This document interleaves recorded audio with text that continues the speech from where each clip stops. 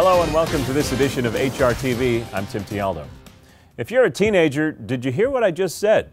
According to hearing scientists at the University of Minnesota, less than 20% of U.S. teenagers would have difficulty hearing the sound of my voice as a result of exposure to loud noises like live music. The newly released study determined that the prevalence of hearing loss in U.S. teenagers is much lower than what was reported in a Journal of the American Medical Association study published in August.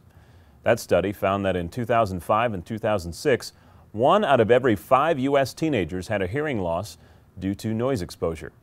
The University of Minnesota research, to be published in the Journal of Speech, Language, and Hearing Research, measured the hearing of members of the university's marching band and found that 15% had hearing loss. But the researchers then followed the band members over the period of a year, and when the results of multiple hearing tests were averaged, more than half of the apparent noise-induced hearing losses disappeared.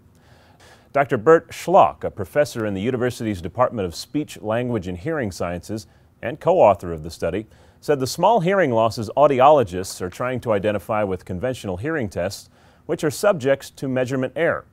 He said as many as 10% of children are falsely identified as having noise-induced hearing loss using these methods. The authors suggest these false positive tests have led to overestimation of hearing damage from loud noises.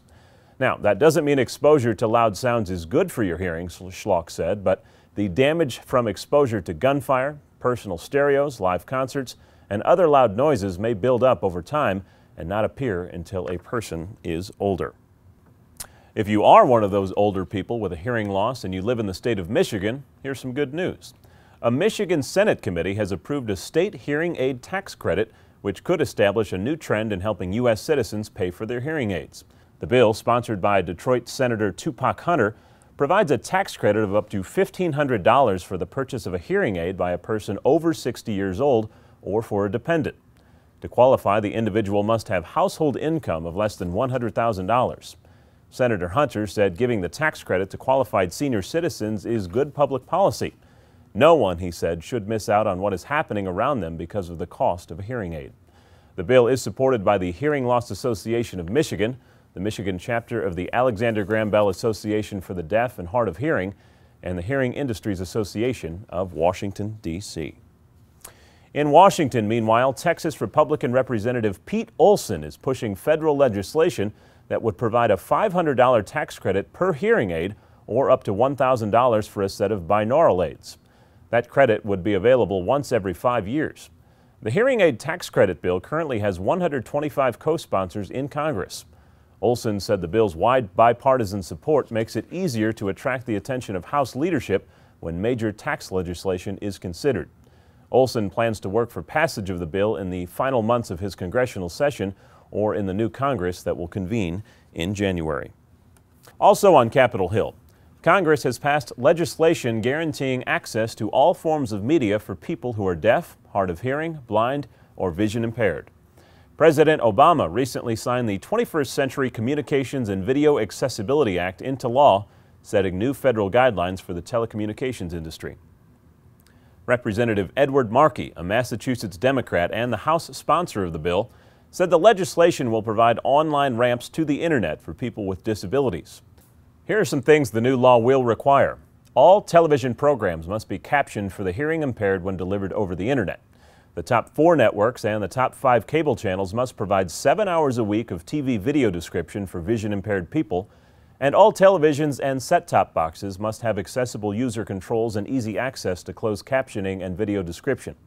In an age when equal access to internet services is an absolute must for most people to successfully earn a living and enjoy a high quality of life, the new Accessibility Act is seen by most hearing and vision advocacy groups as a giant step forward for people with disabilities. In a related story, passage of the 21st Century Communications and Video Accessibility Act is one reason why the U.S. Bureau of Labor Statistics believes the profession of stenographic court reporting will grow by 18% over the next eight years.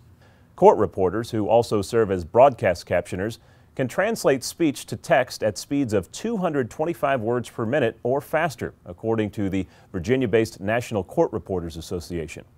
Because the new law requires any program that is first broadcast on television and then distributed via the internet to include closed captioning, there is likely to be an increased demand for skilled court reporters. In addition, a growing amount of video content will be broadcast live in the years ahead on both television and over the internet. Those court reporters will help millions of citizens who are deaf or hard of hearing gain access to television programming via the internet.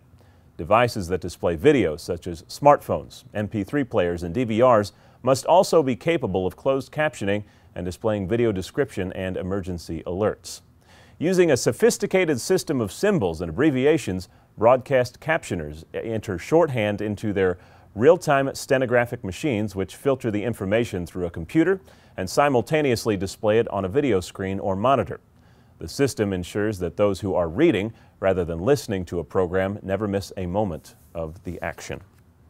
Today's broadcast is brought to you by Resound Alera, the world's first truly wireless hearing aid. Better noise reduction, better environmental control, better feedback management, the best sound quality on record. Easy to fit, easy to wear. For more information on Alera, visit gnresound.com. In other news, Otix Global, the parent company of Sonic Innovations, has brought the bidding war for its company to an end. William Demant Holding was chosen over rival GN Store Nord as the one that Sonic will merge into, according to a statement made on October 19th.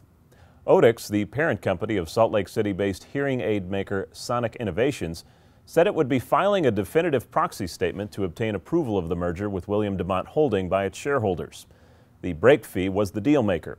If Otix ended its deal with William Demant Holding, they would have to pay a $2 million fee, making their offer more valuable than GN Store Nord's. The move by Otix just makes the statement by CEO of Otix, Sam Westover, more relevant. On September 13th, he said, in a short period of time, Otix Global has grown up from an innovative startup company to a leading manufacturer and distributor of superior solutions under its Sonic and Hearing Life brands. Our product lines have garnered industry attention and awards and are representatives of the innovative technology for which Otix is known.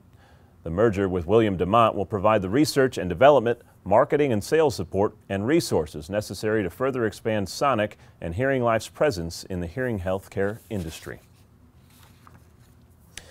Do you know where your audiologist is? A study published in the June edition of the Journal of the American Academy of Audiology addressed the issue of whether it is safe for senior citizens to self-refer to an audiologist for hearing loss evaluation. The answer, according to David Zapala, PhD, and colleagues at the Mayo Clinic in Jacksonville, Florida, is yes. Some clinicians have been concerned that audiologists might miss significant otologic conditions. The study looked at records of 1,550 Medicare eligible patients who were referred to the Mayo Clinic's audiology section in 2007 with a complaint of hearing impairment. The researchers determined that 95% of patients who saw both an audiologist and an otolaryngology practitioner received thorough and effective treatment. Meanwhile, 78% of those who received audiology services alone needed no other treatment, and 9% of those patients were referred for a subsequent medical evaluation.